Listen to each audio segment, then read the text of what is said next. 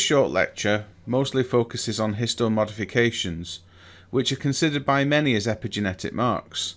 But how do we define epigenetics? There have been several definitions depending on one's perspective, but this definition is one that relates to genetic heritability.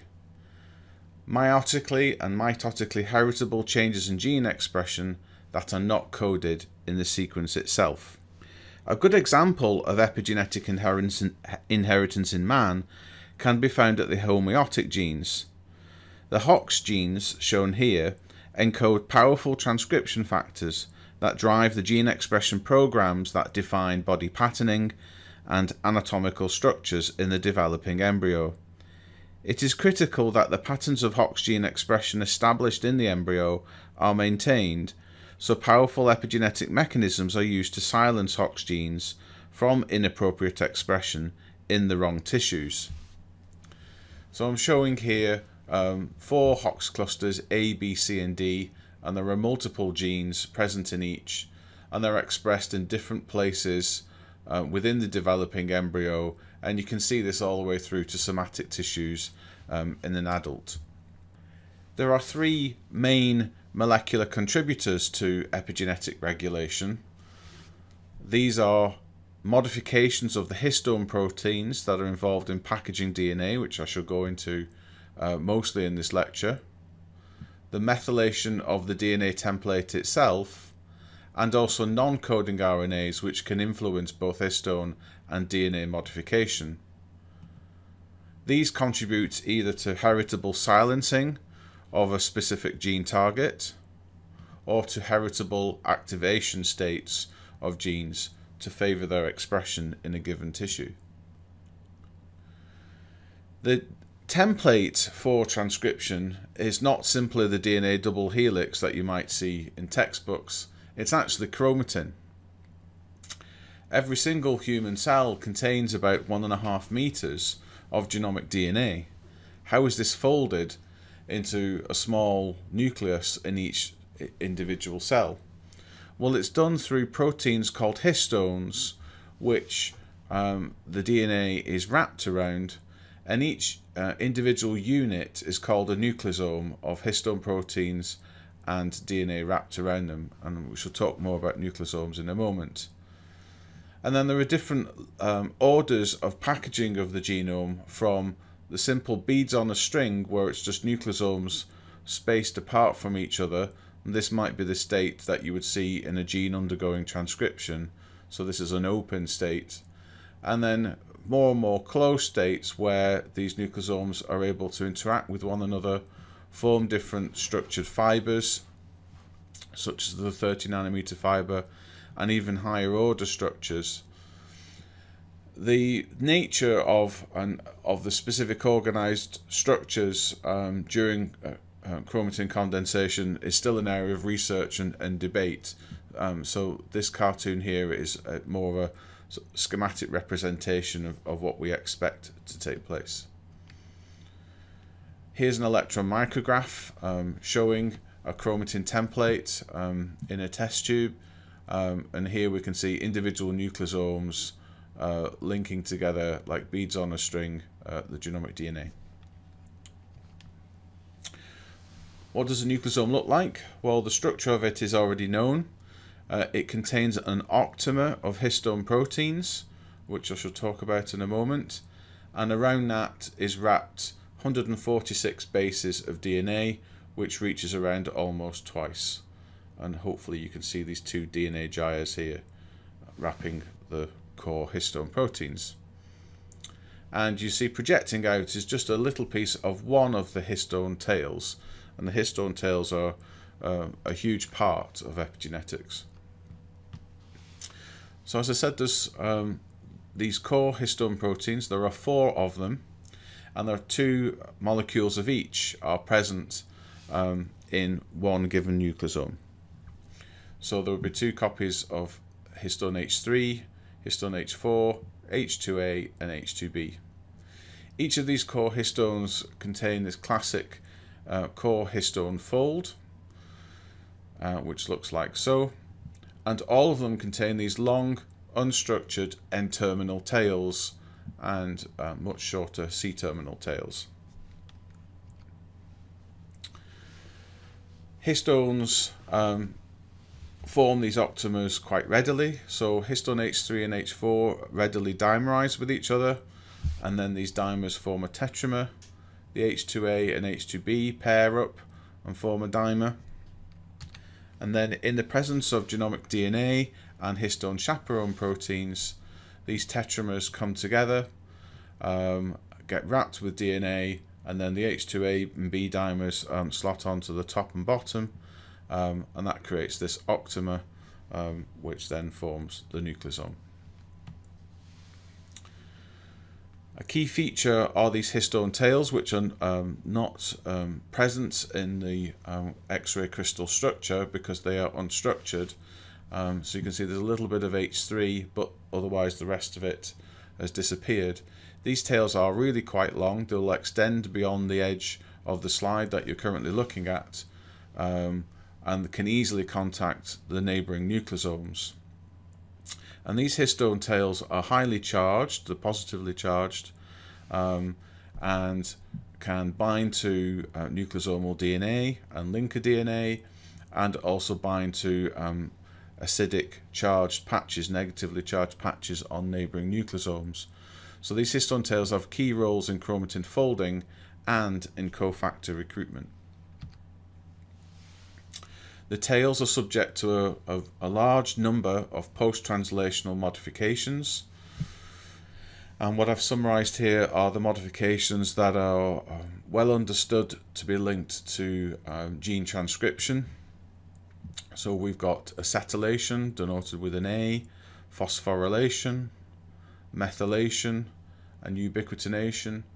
But there are many other kinds of post-translational modification and there are many other residues that are modified. So this um, is quite a, a, complex array of modifications with which you can modify uh, the nature of a nucleosome and what, what would happen to that nucleosome. If we look more closely at histone acetylation, um, which is frequently found on the histone tails, it occurs on lysine residues.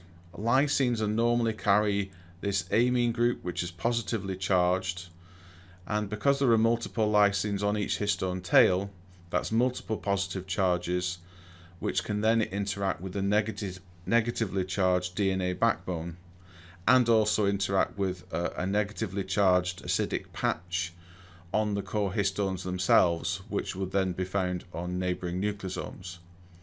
So you could visualize these histone tails and all these lysines that are present on them as sort of velcro straps that come out from a nucleosome which are sticky and can either sort of hold itself and hug itself um, and that nucleosome then would be very stable and hard to disrupt or can stick to nearing uh, nearby nucleosomes and thus enable chromatin folding. When acetylation occurs, it's done uh, mediated by an enzyme called a histone acetyltransferase it requires acetyl CoA um, to donate the acetyl group. When acetylation occurs, it neutralizes the charge on that lysine residue. So acetyl lysine has, has a neutral charge.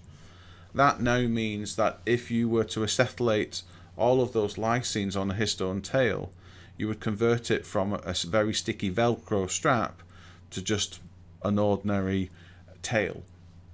Um, that would then mean that you are destabilizing a nucleosome by preventing the histone tails from binding to DNA and from binding to their neighbors.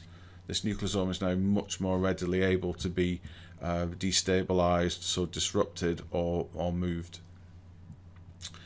Histone deacetylases uh, mediate the opposite reaction and take the acetyl group off. Now, histone acetylation clearly has an, a direct effect on chromatin structure uh, by changing the charge of the histone tails. It's the only histone modification that does have a direct effect on chromatin structure. But histone acetylation also creates binding sites for cofactors.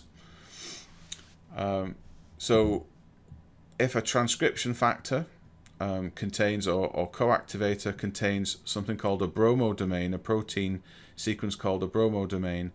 A bromodomain can bind to acetyl um, and it's specific to a specific sequence. So this protein here would bind this lysine 9 acetyl, whereas this protein would bind this lysine 18 acetyl. Bromodomains are found in coactivator proteins, so they're found in histone acetyltransferases themselves, and they're also found in the SWI/SNF chromatin remodeling complexes. So histone acetylation therefore promotes further acetylation. If you've acetylated one residue, you promote the binding of a histone acetyltransferase that will acetylate the next residue, and so on and so on. So that favours something called hyperacetylation, where you've acetylated all the lysines on one histone tail and neutralized the charge of that tail completely. Um, and also histone acetylation promotes nucleosome remodeling. So not only have you um, removed the charge of these histone tails, but you've then recruited the powerful enzymes that can either disrupt a nucleosome or slide a nucleosome along the DNA. So histone acetylation is always associated with chromatin opening and chromatin um, in instability, nucleosome instability. Um, the nucleosomes will turn over much more readily. Uh, the other um, key mark of epigenetic gene regulation is histone methylation, which is much more complicated. So histone methylation again occurs on lysine residues. Um, it can also occur on arginine residues uh, through a different process. Um, but focusing on lysine methylation, um, it's mediated by enzymes called histone methyltransferases, and they use the methyl group um, from S-adenosyl methionine. And the histone methyltransferases can add between one and three methyl groups to a lysine. Note that the charge of the lysine is unaffected when this occurs. So we can have four states of a lysine, either unmethylated, monomethylated, dimethylated, or trimethylated. Enzymes called lysine demethylases mediate the opposite reaction and take the methyl groups off. And these enzymes are specific to specific lysines on specific histone tails and they'll often have a, a, specificity of how many lysines they can add or take away. So some HMTs are monomethylases, others are trimethylases. Some trimethylases will only work on a monomethylated substrate. And then the demethylases again will either be mono demethylases or tri demethylases or di demethylases. So we have a lot of enzymes and a lot of specific, uh, specific uh, lysine methylations that can take place. It's worth noting that only deacetylated lysines can be methylated. If there's an acetyl group here, then the methyltransferase is blocked from working. Um, so acetylation and methylation of lysine is mutually exclusive. And these different methyl states, mono, di, and tri, often have very different functional consequences um, because they bind completely different proteins. So histone methylation in itself doesn't predict what's going to happen. What matters is what the methylation state is and which particular lysine methyl it is. So as an illustration here, um, these are uh, five well-known lysine methylation events that take place just on the histone H3 um, and they have very different readouts. So lysine methylation can be associated with transcription activation or with repression. So for example, uh, the trimethylation of lysine 4 and the dimethylation of lysine 79 are very much associated with the activity of gene promoters. So when they're lit up and transcribing, these promoters are highly enriched for these marks. Whereas the monomethylation of lysine 4 is more associated with the activity of enhancer elements. Lysine 36 trimethylation, however, is associated with transcription elongation, so you'll see it at gene bodies and at 3' UTRs of, of genes that are undergoing transcription, and you won't see it at promoters. And alternatively, the trimethylation of either lysine 9 or lysine 27 on histone H3 are associated with gene silencing. Lysine 9 trimethylation is associated with the formation of heterochromatin, and lysine 27 trimethylation is associated with something called polycomb repression. So we can see that histomethylation doesn't specify active or repressive, it, it specifies lots of specific events during transcription. So, how does this work? Well, lysine methylation creates binding sites for different proteins. So, depending on the mark, some of these uh, events um, create binding sites for coactivators. So, the best example is the trimethylation of lysine 4 on histone H3.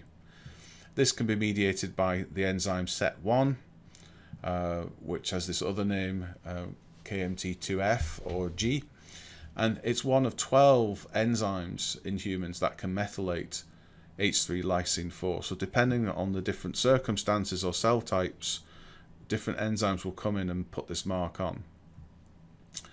Um, proteins that contain chromodomains um, bind to methylated lysine, and this particular chromodomain containing protein CHD1 is a chromatin remodeling enzyme that's associated with transcriptional activity and it specifically binds to H3 lysine 4 when it's trimethylated.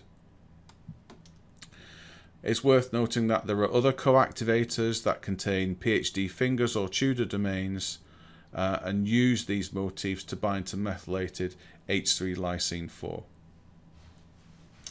And conversely, there are some co-repressors like CHD3 and 4 proteins that are present in the NuRD complex so this is a very potent repressor complex. It needs to bind to the H3 tail here and, and, and is involved in modifying it H3 lysine 9. Um, but it cannot bind to this tail if lysine 4 is methylated. So it binds here, but only when it's unmethylated. So these methyl marks are, are very important in determining which coactivators or repressors can bind and when. So lysine methylation can also create binding sites for co-repressors. So the, the trimethylation of lysine 9 on histone H3 is associated with heterochromatin formation.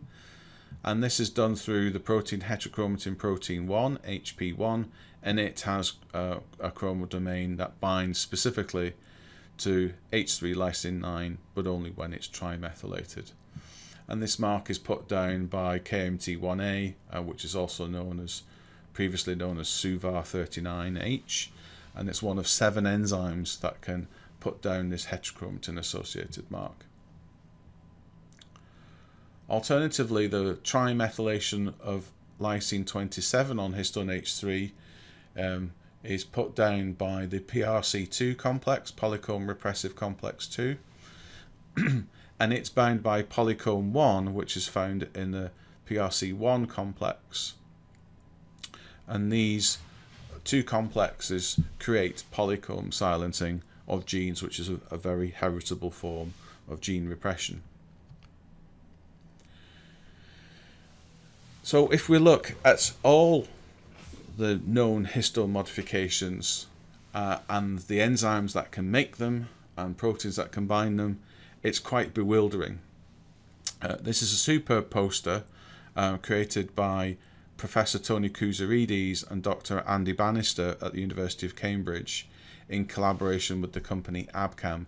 And you can download this poster from the Abcam website, and I've put a link in the description. Uh, so this huge poster demonstrates all these potential histone modifications, and we're going to have a, a quick look at this um, just so you're aware that there are these other modifications. So if we just focus in on histone H3 here, and we're going from the C terminus to the N terminus and as we scroll through. So what can we see? Well, we can see lysine acetylation and lysine methylation events, which um, I've already um, described to you, but also there are phosphorylation events of serines and threonines. There are isomerization events of prolines which can change the angle of the histone tail. there are ADP ribosylation events, there are ubiquitination events, there are citrullination events, arginine methylation as well. So there are many residues that are modified, there are many kinds of modification, and frequently there are multiple enzymes that can mediate any given modification. I'll just scroll up to the H3 lysine 4 um, part here, um, which we discussed before. Um, so clearly there are there are many enzymes that can put down some modifications. This is the lysine 4 uh, methylation. Some do mono, some do di, some do trimethylation.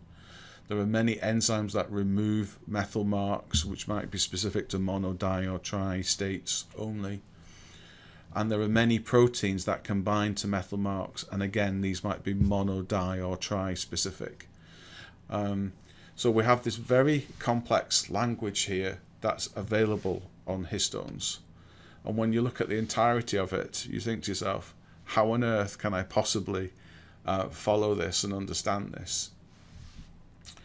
Well if you're new to histone modifications and you're more interested in, in gene regulation then there are actually seven core histone modifications which are all on the H3 tail uh, which are associated with the main transcriptional events across the genome and these are the ones that really you should memorize and focus on and understand uh, and the other modifications you can just put to one side for now. So the acetylation of lysine 9 on H3 and the trimethylation of lysine 4 on H3 are closely associated with the activity of gene promoters.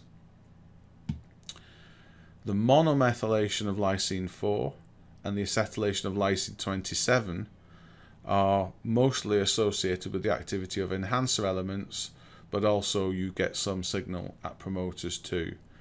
Um, un unfortunately, there, there aren't good enhancer specific marks at the moment, but by comparing these marks with gene annotations and the annotations of where transcription start sites are, you can figure out whether you're looking at an enhancer um, that's active or whether you're looking at a promoter. The trimethylation of lysine 36 is associated with the transcription over gene bodies. And the trimethylation of lysine 27 or lysine 9 is associated with polycomb or heterochromatin silencing. So it's possible to use these seven core histone modifications to define chromatin states across the whole genome and actually can partition every single uh, genomic sequence across the across a chromosome and call it as one of these different states um, based on the histone modification signature that you can see. And this has been done uh, very well indeed by the Roadmap Epigenomics Consortium, which is this uh, international collection of, of big labs um, that have profiled uh, chromatin states in 118 human cell types so far. And these are mostly primary cells and a small number of well-known cell lines. So what they have done is profiled these seven core histone modifications across the genome in each of these cell types and used an assay called ChIP-seq, uh, which um, detects these histone modifications and finds out what sequences are associated with those modifications. These profiles were then computationally integrated using a, a hidden Markov model, a statistical model, um, and from that you're able to generate as many as 25 chromatin states that you can segment the genome into.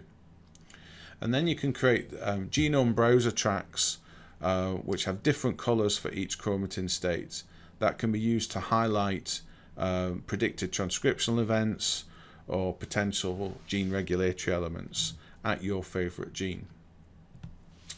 Um, so here is a, a, key for um, the 25 states um, generated by the Roadmap project um, and there's a lot of nuance in here but collectively we can see that the, the reds um, denote active promoters the greens denote uh, transcription elongation uh, the yellow and orange shades relate to enhancer activity uh, turquoise relates to heterochromatin Uh, light purple are poised promoters, which are have got polymerase on them, but they're not transcribing yet. Um, and the purple and silver relates to polycomb states. Um, so one of them is interesting, which is a bivalent promoter, where it contains both the lysine 27 mark of polycomb and the lysine 4 trimethylation mark of an active promoter, and it has them both at the same time. Um, so this is usually found only in stem cells, and these are genes which are currently active, um, but they're listening and waiting as to whether to decide to whether to, to stay active uh, for the rest of your life or whether to succumb to polycomb repression. And so they're pre-set up in this bivalent state to be highly responsive and, and make the decision to go down one path or another. Um, okay, so I'm going to go back um, to the example we started with, which are these homeotic genes. I'm going to focus on the, the HOXB cluster, and particularly on uh, the first nine genes here, uh, HOXB1 all the way through to HOXB9, which are expressed in different parts of the embryo and different parts um, of the body. And I'm going to go onto the UCSC genome. And what I've done here is um, uploaded data from the um, roadmap epigenomics um, project for lots of different cell types. So um, so here are the HOXB genes as what you're looking at here uh, which are located on chromosome 17 in this particular position so we've got these HOXB genes, and I'm sort of zoomed out to look at 135 kilobases um, covering all of these genes. So we're quite zoomed out here. Um, and what we're going to do is, is, just have a quick look at what these um, chromatin state maps look like in different cell types and how they relate to the ChIP-seq data that created them. Um, so just as we scroll down here, we've got lots and lots of chromatin state maps for uh, lots of different cell types as shown on the left and you can see that the chromatin states uh, change very considerably between different tissue types. So I've created this simplified key for the chromatin state maps um, and if we look across the HOXB cluster in stem cells like embryonic stem cell lines or IPS lines which are effectively uh, created um, pluripotent stem cells. These are pluripotent stem cells, which um, um, embryogenesis hasn't begun yet. So obviously body patterning hasn't started. So the decisions have not been made uh, on these HOXB genes as, as to whether to be expressed or repressed or not. But they've got to listen. So you'll see there's a lot of this uh, bivalent signature across these genes, across their promoters, and across all the regulatory elements in these genes. So there's an awful lot of purple.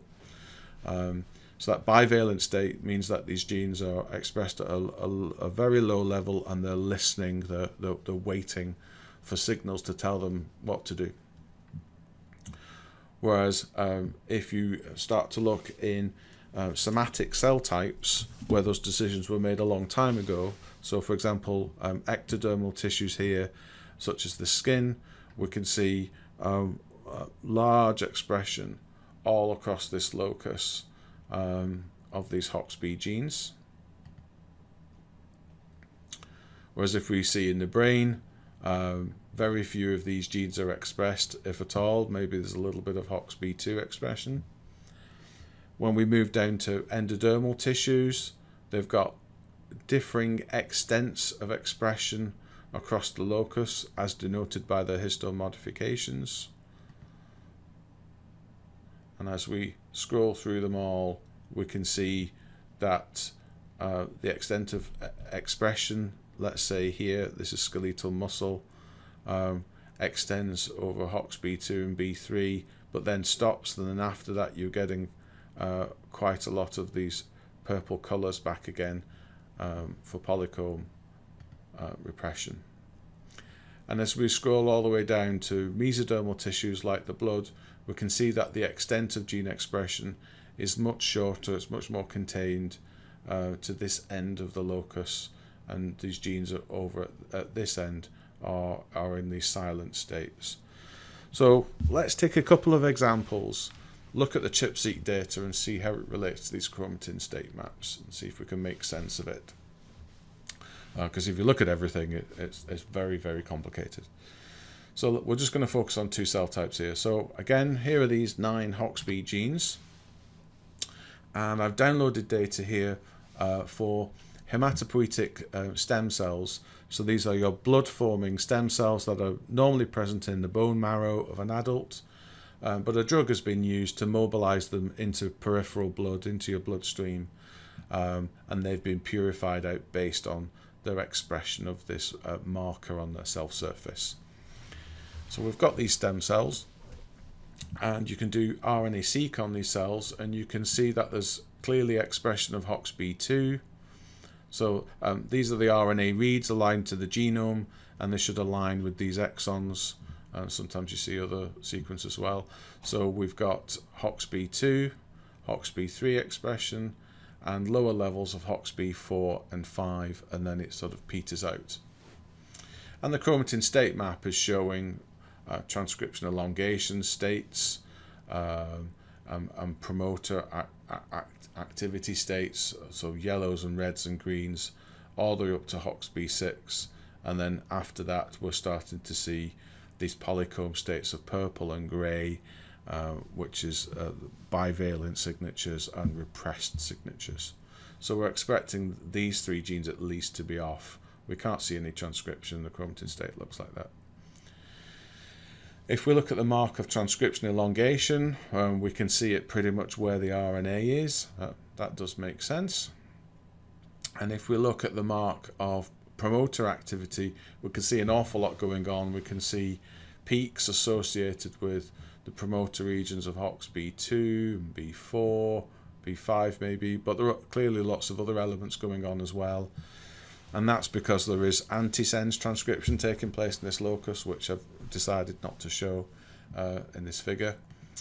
Um, but if we look at this polycomb associated mark, the trimethylation of lysine 27, then we can see it's accumulated over these genes of HOXB7, 8 and 9 and is encroached into the locus this far and stopped around here and that makes sense with where the transcription is. Now if we look in, in breast myoepithelial cells um, so this is just an example I picked out just because the chromatin state looks different. Um, could have picked anything. Um, then we can see transcription of a HOXB2 and B3 only in this case. Um, we're not seeing much of anything else. The K36 trimethylation is not a great uh, ChIP-seq profile, um, but we can see some of it certainly over the B2, B3 area and the promoter uh, associated marker of, of H3K4 trimethyl is now very different. Uh, good over HOXB2, uh, quite poor over everywhere else. All these other elements we saw in blood stem cells have, have, are now pretty much off. And if we look at the polycomb mark, then this is dramatically different. So instead of being restricted to the B7 and 8 and 9 genes, uh, in uh, breast myoepithelial cells, it's spread much further into the locus. It's quite high all the way up to around here. Um, and that makes sense with the chromatin state maps we've seen where we can see all these purple and grey signatures all the way across. Okay, so um, that's giving you some insight into to raw data, into real data of what histone modifications look like across a genome um, in quite a, a complex locus as the HOXB clusters. And I just want to end this lecture with a, a take-home slide to help summarize where you would find histone modifications for an average gene in the genome. Um, so, so these are average profiles which largely are consistent from gene to gene.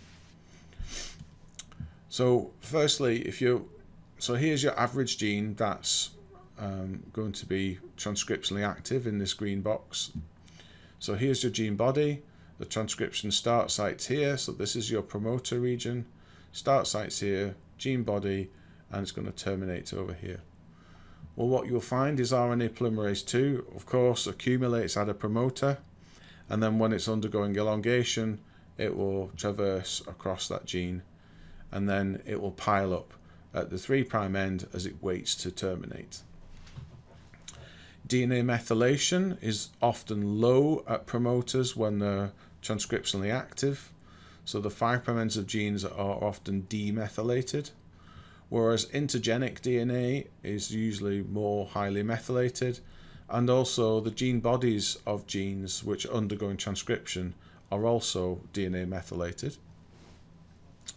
If we look at histone modifications, the promoters of active genes are highly enriched for H3 lysine 4 trimethylation, and they have lower signatures of mono and dimethylation of H3 lysine 4, which are often just byproducts of the enzymes that put the trimethylation on.